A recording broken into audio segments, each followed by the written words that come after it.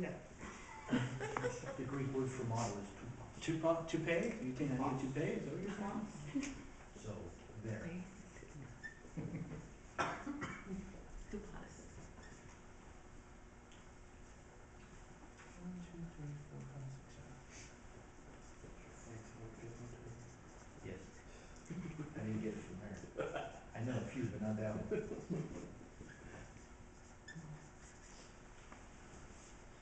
So kind of similar, I actually looked up the Greek words. Um, and then kind of did some different ways. You know, we, we really don't, excuse me, we really don't use the word sensible today. Um, but we do use the word respectable. Um, uh, we don't necessarily use the word dignified today, but we do use the word uh, pleasant, peaceable, uh, self-control. We use those words. Um, what does it mean to be sound? Uh, well-grounded. That's I think that's another way to put that. Well-grounded faith. Well-grounded love. Well-grounded perseverance. Model of good deeds, of good examples. No. Good deeds. yes, yes. You're too possible. Okay, Uh, put Dupas there. honest, honest doctrine that corresponds with the word integrity and teaching. Honest doctrine, Honest, same integrity. integrity. Mhm. That's what the word means. And then whole or healthy speech, because sound speech, um, we don't necessarily use that word sound today. What does it mean to be sound in your speech? Well, it means whole speech or healthy speech or so- solid. That's not might be a better way to say that.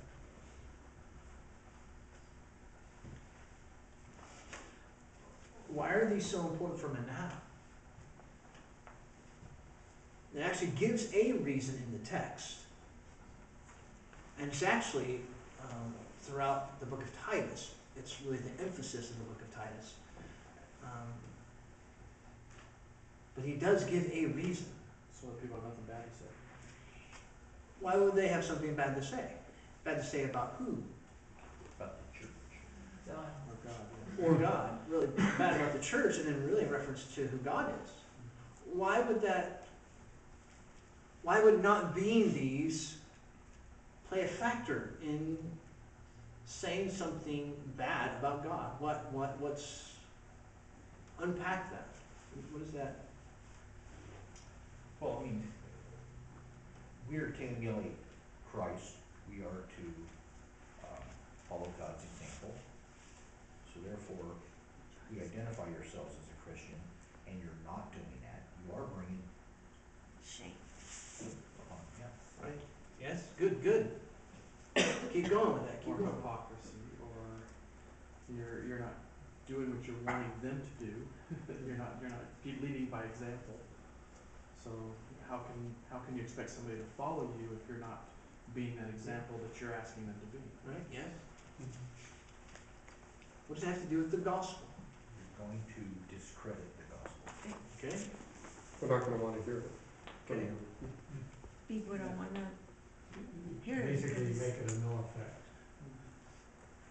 Make what of no effect? The the gospel. gospel of no effect, because what you say and what, what they see, they're seeing anything different. So what are you talking about, all this stuff? You're just like me, so what difference does it make? Because what happens to us in the gospel? What happens to us by the gospel? In the power of the Spirit, what happens to you? it Your heart changes. There's a change in you. So they gotta see that change in us. They gotta see that change, but the, the whole thing is there needs to, there should be a change. There should be a difference. You should live differently. We should live differently. We should act differently. And, and so, and then what I'm gonna do, I'm, I'm gonna erase these on this side, and then we're gonna kind of look at the opposite. That's what I wanna do. But first I wanna give these to you, so that way you can see this, and this is what he's calling men to act like. Oh, by the way, another question. How do men develop these character qualities? How do men develop these character qualities? Discipleship. What makes you say that? You have to, you, well, let me go back to the example thing, the mm-hmm. model, you have to you have to see these things in action. You have to have elders whom you look up to and respect, providing you an example, something you can attain to, showing you what it looks like. You can say peaceable and pleasant, but what is that, how does that play out? Mm-hmm. What does it look like? Yeah, what does it really, how does it really display itself to I think of as fathers to sons. Mm-hmm. Well, and, yes, it would be fathers and sons, actually, in the text, it's what? Well, Yes, in the text, is older men to younger men. So really the question is, how do young men develop these character qualities? They should see these in The older men. the older men. They should be able to see these in the older men. Okay, so, So it hinges on the gospel first, with life change, and then discipleship, especially the older men. Mm-hmm. But without, without the example, then we have to go to The word anyway. the word, renew on, renew our mind, put off the old man and put on the new. and we're always doing that. We always gotta do that. man. Whether, whether you have the old men there or not. and if- He gives us all kinds of examples of what that looks like. We looked at, we've looked at just two, Paul and Jesus. So there's true masculinity right there. So now let's go through and let's talk about the opposite to these. And not necessarily, I'm not necessarily saying, okay, what's the opposite to this? I mean, we can, we can do it like that, but I'm just saying, when you look at this list, what would be the opposite to these things? What Would, some come to your mind? And I'm just gonna write those, these down and then, and then we'll kind of sum it up, the ones that I got listed down, but I just wanna get some, uh, feedback. Somebody that's rude or straightforward Good. or Rude, obnoxious. Angry, anger, Negative.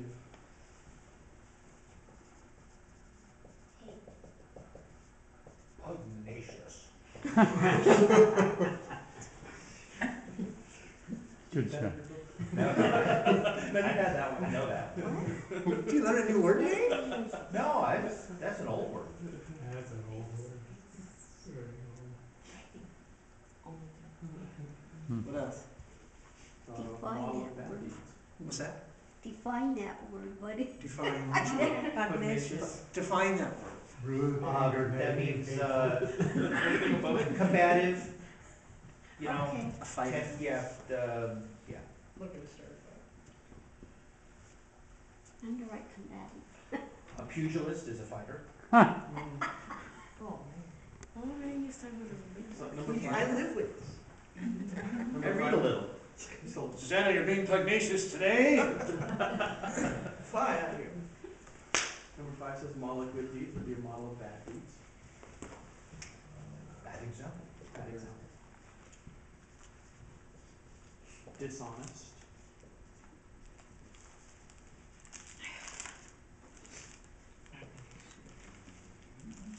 Perverse doctrine. Perverse doctrine.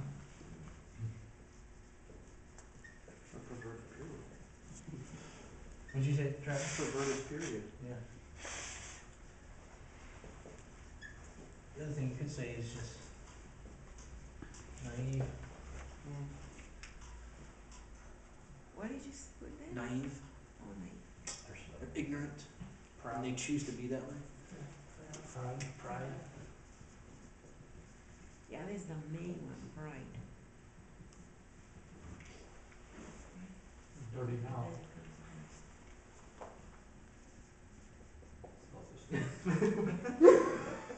Potty mouth. Potty mouth. Andrew, do you have any examples of that? Potty mouth?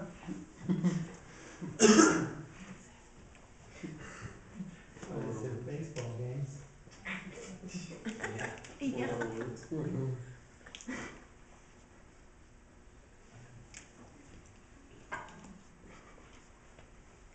Lazy. Anything else? Gosh, you want more? I'm just asking. and- Arrogant, What is Pride. pride? yeah, there's a guy, at- So, where Ann is, like, try to share the gospel with, he loves his arrogance. He can admit that. Well, most people don't. Anything else?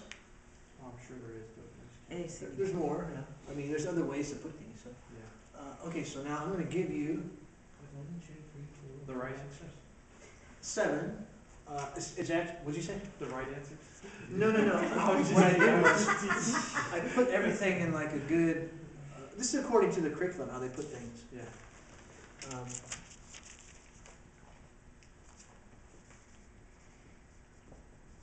Macho, Oh, muy yeah. macho. Macho. Like. Like That's an old Jim. school word. Arrogant. I'm just gonna have, I'll leave that up there for now. Um.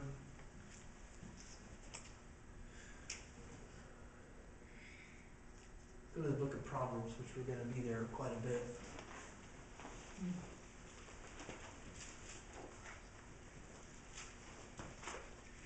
Is potty mouth in there? It's in the Greek. They say a little different. He said put that. Could say bidet. Put that?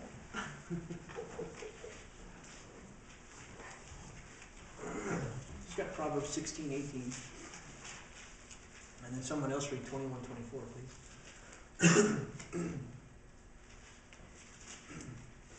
Pride goes before destruction, and hot, and a haughty spirit before. That's sixteen, eighteen, twenty-one, twenty-four. Proud, haughty, scoffer are his names who acts with insolent pride. And then James four, six. But he gives greater grace, therefore it says God is opposed to the proud, but gives grace to the humble. Someone who's a macho, they're reckless, rebellious, in your face. Now, there's a reason why, I mean, we're talking about masculinity, and, and then they use that word macho because within the, uh, within the world, that's very much how guys, you know, they want to act like that, like real macho, right? They're kind of reckless, in your face, like, oh yeah, you looking at me? What you looking at me for like that? Got Like? Studley.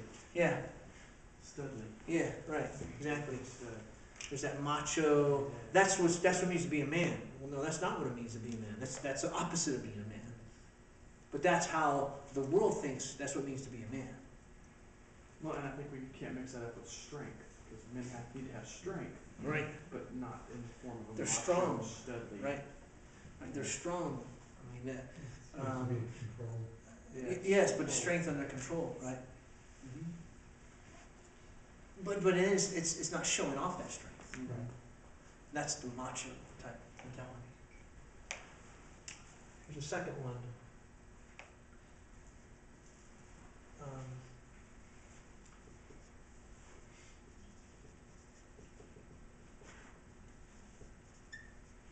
domineering.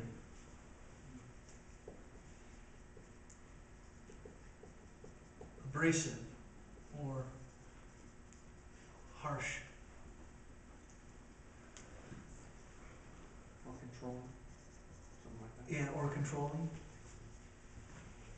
There's a verse there for you, Ephesians 4.32.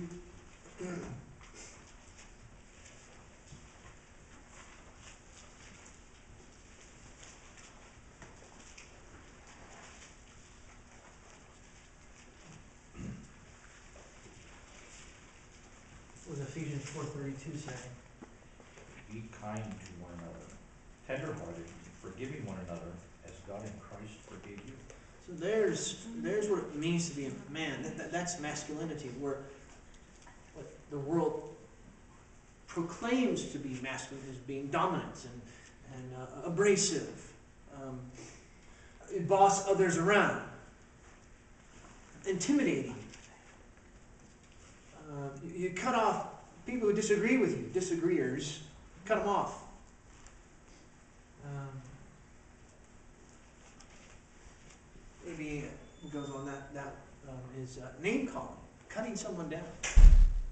That's a way to show your dominance over someone. Not to get into political things, but that's what we're seeing today in.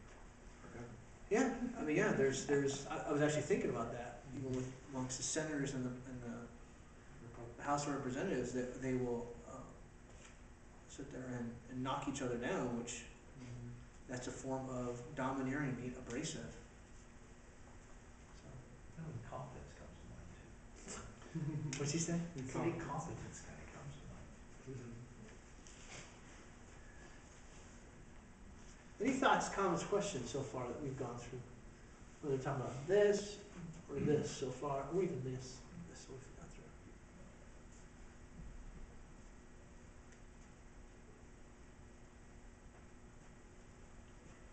Seeing a lot more of this and a lot less of that.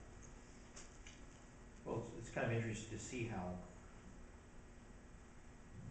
society, the world will take something, a good thing, and turn it into a bad thing.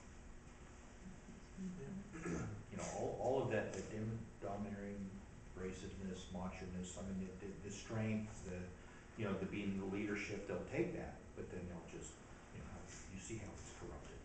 And, and hopefully that's a great point, Michael, because you, see how it's easily distorted. Sin easily distorts things. That's how the evil one has done it for centuries. He will take what's true and he'll distort it. Strength and leadership. You have to lead. Oh, you, you know, throw this out there too. Uh, you have to lead as men, and yet also keep in mind is for some people you're leading, but for other people you might be being domineering. It can be subjective. There is a fine line between leading and domineering, and sometimes it gets blurred. It's hard. Um, it's hard when you're in leadership to know what time, when are you leading and when are you being domineering? When are you not leading and when, I don't know if that makes any sense. It's, it's hard, that's difficult, so. Well, I think it depends on how many of these other aspects you have in your life versus having those aspects go along with it. So if you're domineering and you have this macho type attitude, then you're on the wrong side of domineering. But if you have this peaceful, respectful, self-control, that type of mentality, then you can see that, that where that domineering can be on the right side of that line. That's true, yeah. So you're looking at your, your whole life holistically. Actually, it brings up a great question. How do you know where the line is? How, what helps you? What has God put in the scriptures, and specifically what we've looked at in Titus chapter 2? What has He given to help us to be able to distinguish between that line, where, like for you? Wh- When, how will you know if you're being domineering or you're really showing a model of good deeds and you're really showing true leadership? How do you know that? The older men will point it out. Yes, so there's the aspect of discipleship and accountability. That's what's going to help you. When you see an older man or you see another person who's saying, hey, you know what, yeah, here you're being domineering, or, or you know what, no, I don't think you're being, you're, you're leading. That helps, that helps you. So you're not looking at yourself through your own eyes. Mm-hmm. Oh, helps have another set of eyes. So, Also in the examples that we've talked about is in Paul and Jesus as well. yes, so you're able to look at the scriptures with that. That's good. And it's gotta be done in love, that's the underlying thing. Right, Real love, God's love. Not fleshly love. right, right. Is it okay? Here's the third one. That's so.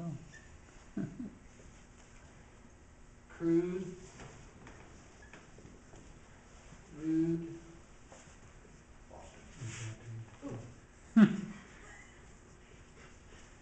obnoxious. Oh, a Red Sox game.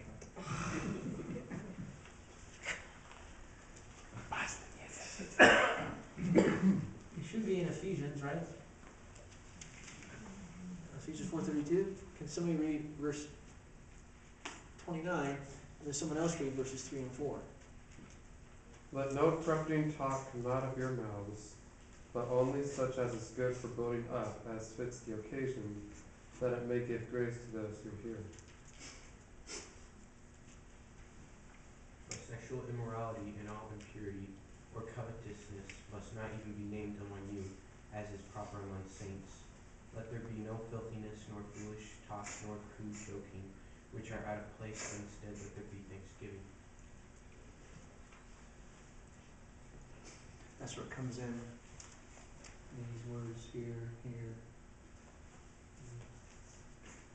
Um, using profanity, coarse speech, dirty words, those types of things. Just do this off on me. Yeah.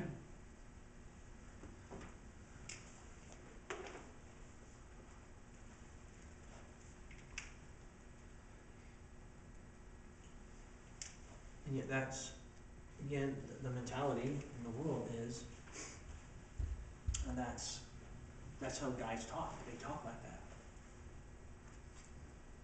The amazing part is you hear females talking like that. That's the part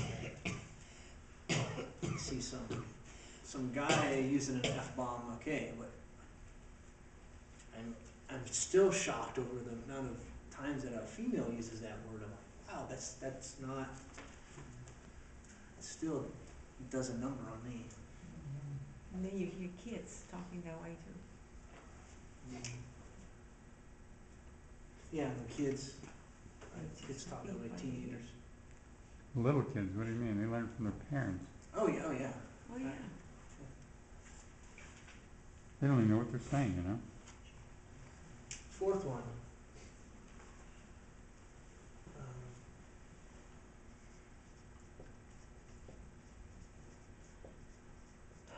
out of control. Anger.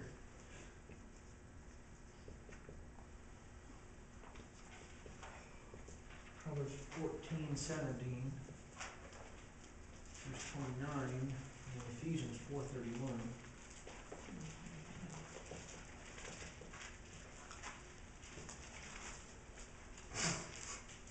Proverbs what? 14, 17.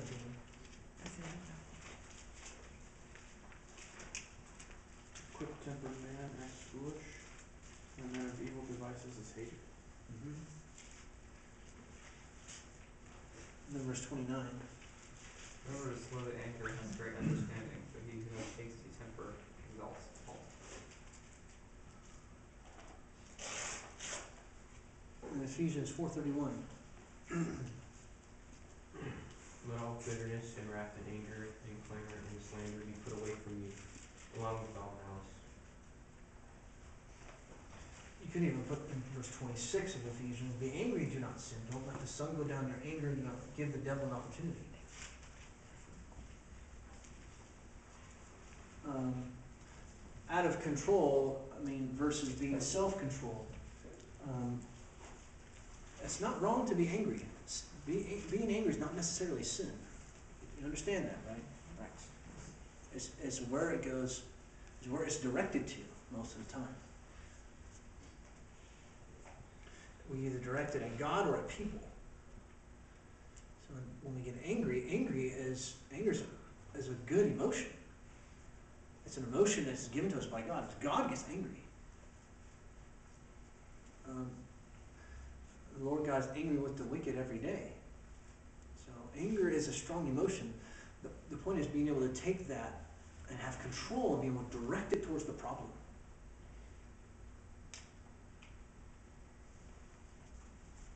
So, out of control, out of control anger. I should say. So your kid's your problem, how do you direct the anger? So what? Your kid is one of your, one of your kids is your problem, how do you direct your anger? Um, Smack 'em. spank them, yeah. You don't do that in anger. Uh, mm, You have to have self-control before you do it. I understand. See, and that's notice what you just said. Don't do it angry. You have to have self-control.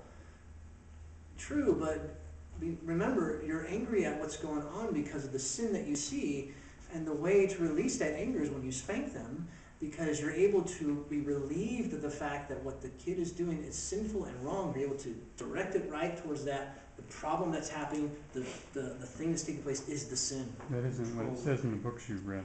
Um, was, I would beg to disagree with you on that. And I understand what, what's being meant, is you don't spank them in out of control anger. Right. That's when you don't spank them in, where you, when you're out of control. That's what you don't do.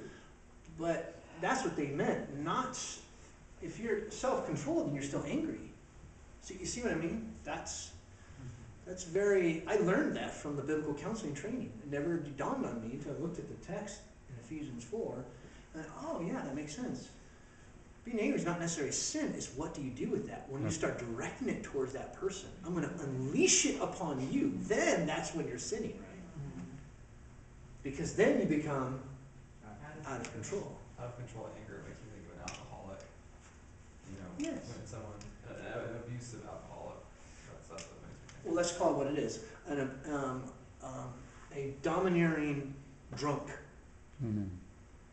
uh, drunkenness, um, we'll use the biblical term, but I understand exactly what you mean, Tyler. Um, an abrasive, harsh drunk who's out of control, yes. So it's more than one sin. First Mhm. of all, being drunk, and second of all, being out of control. Yes. That's good. Threw a little wrench in that, huh? Five.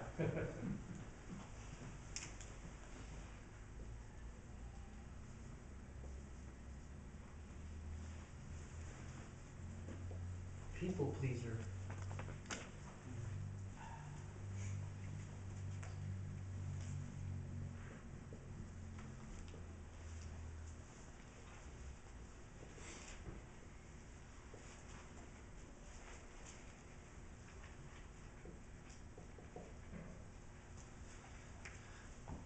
People pleaser.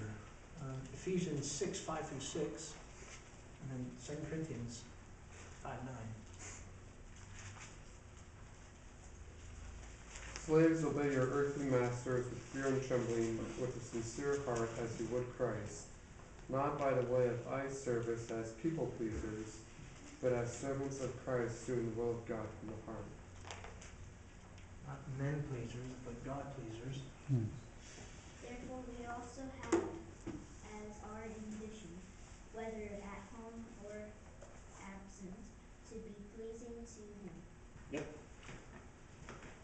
This is my ambition to please Him, not to be a people pleaser. Um, uh, doesn't want to take charge. Um, stays quiet. Doesn't want to rock the boat.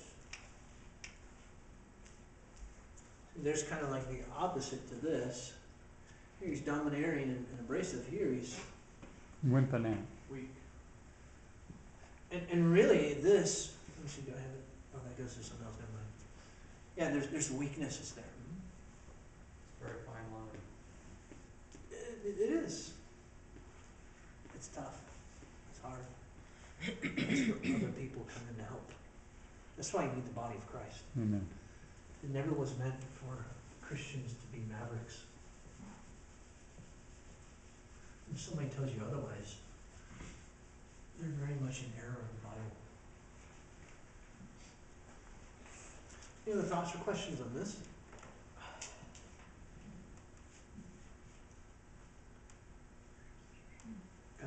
Dos y más. Number six. Simple or naive. Naive mind, right? Yeah. Proverbs fourteen, fifteen.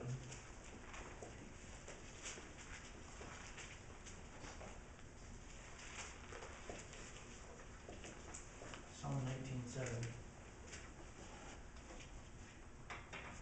The naive believes everything, but the sensible man con- considers his steps.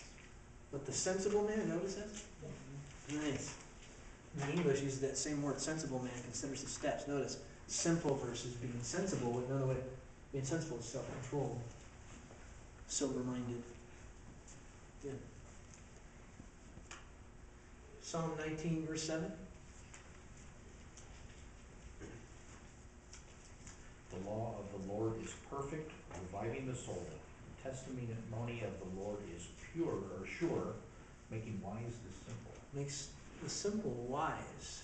Know the word, that's where we come in with this. Well grounded in their faith, honest doctrine. You should know the truth. Men should know the truth. And the only way they're going to know the truth if they are in the truth. So men should be with God's people. Men should be studying God's word. They should be studying God's word together. They should be uh, not in the middle of the service or in the middle of this or in the middle of that. They should be engaging, intense, note taking, engaged in what's going on because they should be honest, strong in their doctrine and in the faith. All you men in here, you should be the example of that. Not simple, not lazy, complacent. That's where kind of these go in together in the sense of not taking charge. It's kind of like, oh, whatever. They kind of mix together.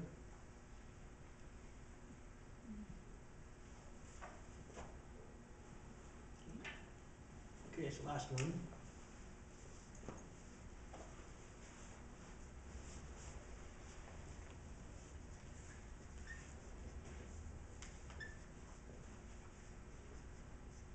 Lives a life of evil.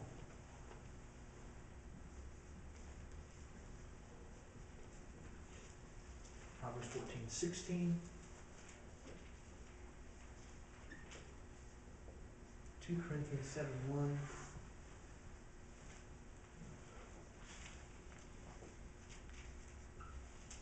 One Timothy four. Seven through eight.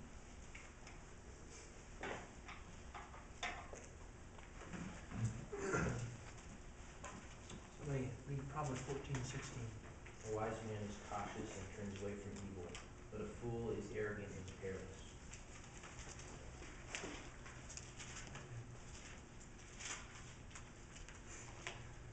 Since we have these promises, beloved, let us cleanse ourselves from every defilement of body and spirit, bringing holiness to completion in the fear hmm.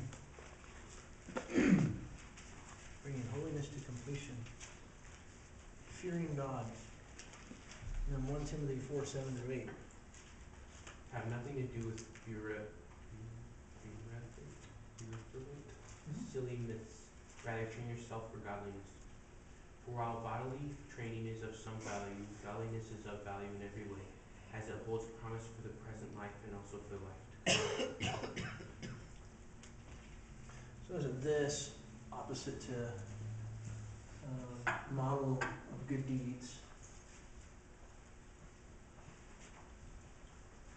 And even being well grounded in love.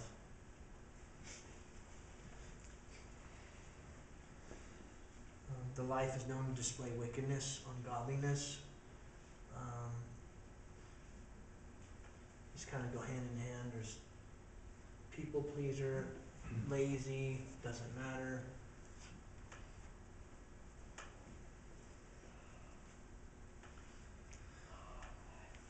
So here, here you kind of have, this is what our text says, this is what men should be like, and this is kind of, these are the opposite to those things. this is what, how the world describes masculinity. And this is how the scriptures describes masculinity. So real men act like. I think in the worldly sense, though, you don't see a man that's domineering, abrasive, macho, and then simple and naive. You know, there's they're they're they take one and go all out with that. You know what I mean? So maybe a few of them, like so domineering, abrasive, maybe out of control. But in Scripture, we're asked to be all of these things, and so that's where I think we need help, you know, from each other, and we need each other for to be more uh, focused on the entire list instead of being one thing as as we are, you know, in, in the world. So, No, I understand what you mean. There might be like, um, it's almost like um, these kind of might go together, or, or Yeah. these three, and these three kind of go together. Maybe this comes in with that. yeah. Yeah, no, I understand what you mean. You know what's scary? we're talking about these as problems and, and the way the world takes these things. There are two there that have crept into the church. Big time, Which one are you speaking about? five and six. Absolutely, Five and six? yeah. And, and what makes you say that? And what, what, what is? Well, not here, thank God. Say- Uh, Say again? I said not here, thank God, but in many churches. And, you know, on a whole, I mean, several examples. The people pleasers and the simple and naive minds. Those are the ones Go together, um, in many churches. Number can see one, two number also. one, two. Number two, I can see really well, Number well one is now, to cause you have these kind of, uh, arrogant. leaders that take control of everything. Oh, and that- on an individual basis, but I I mean, I'm Yeah. talking about in a, in a broad, unfortunately, a broad. uh, In a corporate way? Is that what you're thinking? Yes, Within the local Well, church? you, well, within, well, many churches, and in, you know, churchianity, uh, as a whole, the, the people pleasing and the simple naive mind, they've thrown out scripture, and they, the, the two go together. They, you know, we don't talk about sin, we don't talk about hell, we don't wanna convict anybody, we wanna make anybody feel bad. It's all about, you know, making you feel good about yourself and, and, you know, self-help stuff, and, and that comes from a lack of scripture. You, you, you back off on scripture and all this other stuff simple naive mind and the people pleasing go together, and it's a big problem within the church as a whole.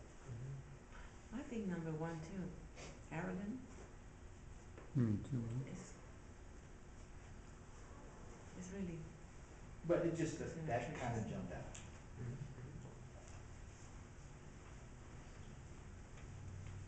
Any other comments or questions on these? We've got a few more minutes. No, it's almost after four. Now you know. We've been really We going gotta, long. we gotta preach, man, you gotta preach. it's after four.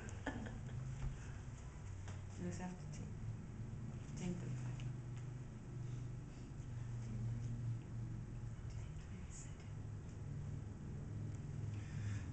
Go to, uh, I don't know where you're in your Bibles, you go back to Titus if you would.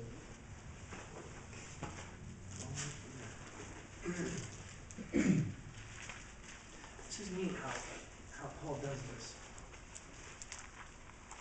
He's talking about older men in chapter two there, right? Older men teaching the younger men, the older women teaching the younger women. He talks about God's grace has appeared to all men, calling us to be zealous for good deeds.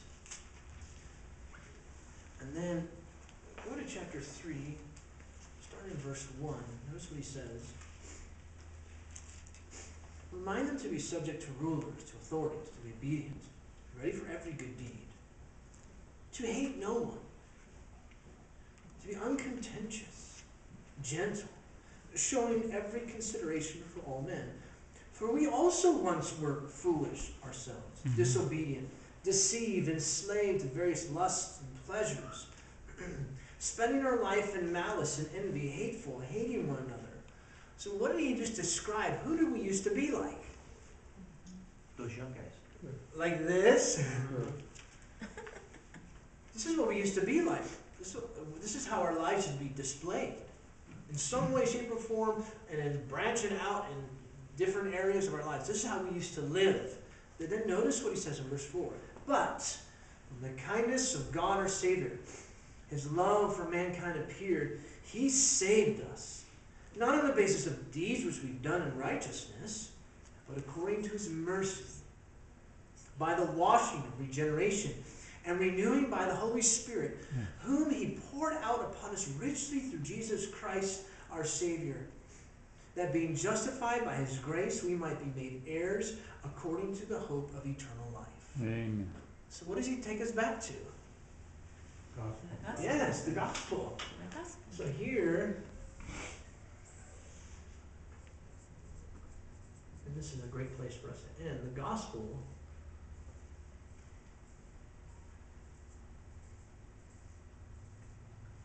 the thing that's going to bring, it's going to, it's like that, if you want to think of it, like a filter out this evil. It'll change us, and then this will come out in the way we live. That's that's why he mentioned even the renewing and regeneration of the Holy Spirit poured out upon us richly.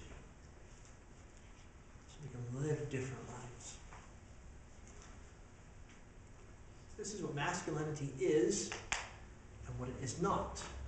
And this just kind of sums up what we looked at for the past three weeks. We looked at Paul, we looked at Jesus, and today, we finished that up today. And Michael Matthews is going to take that next week, and you go looking at women, examples of- from women, right? So we're going to move now into women and talk about women and different examples from women. I'm assuming they're going to kind of go through the same flow, look at different examples, and then and then character qualities as well. So, um, so Michael's up for next week. I think it's the, the book of Ruth, right? We're gonna talk about Ruth. So that'll good. That's a good book. Last comments, questions on this?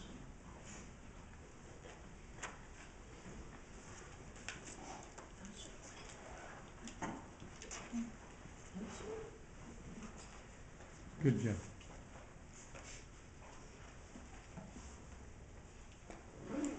Thanks, Dan.